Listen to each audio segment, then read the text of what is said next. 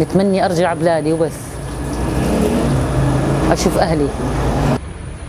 أنا مهجرة من درعا. اسمي آمنة أحمد السويداني عمري 65 سنة. تهجرت على الشمال السوري صار لي ست سنين.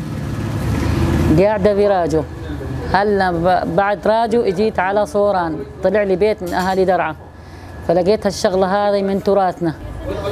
شغلة العجين والخبز والتنور والتقطيع.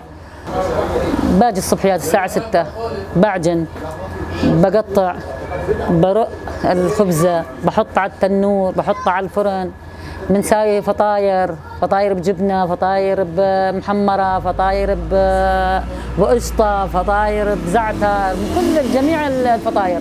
بتعب لكن ما بدي أتعب اللقمة بدها تعب. إذا ما تعبت ما بتستلذ باللقمة أصلا. ما لها طعم أصلا. يذكرني ببلادي. حوران.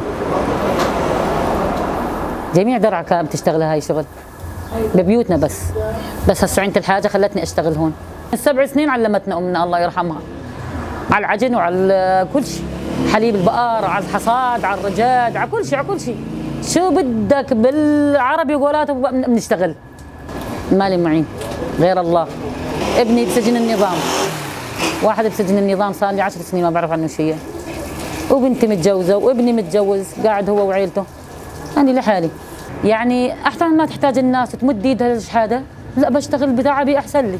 ليش لا أخجل منها؟ بكرة بيضطر الإنسان. أنا صرت أنا أرملة. صار لي أكثر من 30 سنة أرملة. ما أخذت من حدا ما, ما بطلبش من إنسان. أنا بشتغل تعبي. بتمني أرجع بلادي وبس. أشوف أهلي.